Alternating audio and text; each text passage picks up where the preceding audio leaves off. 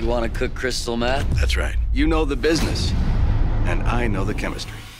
What advice would you have for assistants and non-fiction editors who want to get into the narrative fiction business uh, as editors? You know.